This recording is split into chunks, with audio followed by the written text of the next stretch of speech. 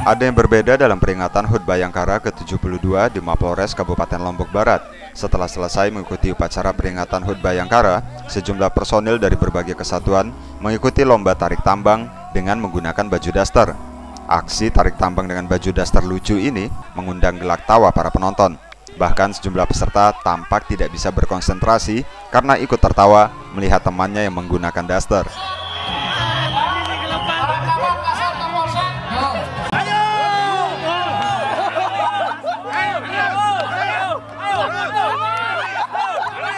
Kapolres Lombok Barat AKBP Heri Wahyudi berharap dengan HUT Bayangkara ke-72 tahun ini semakin dipercaya oleh masyarakat dalam mengemban tugas.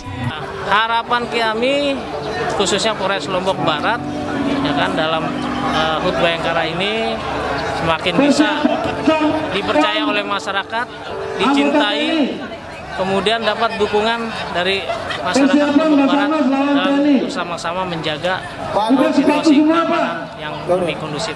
Selain itu, kegiatan ini juga dimeriahkan lomba memukul air di dalam plastik. Dan tak jarang para peserta memukul peserta yang lain. Tim Liputan Diamond TV melaporkan dari Lombok, Nusa Tenggara Barat.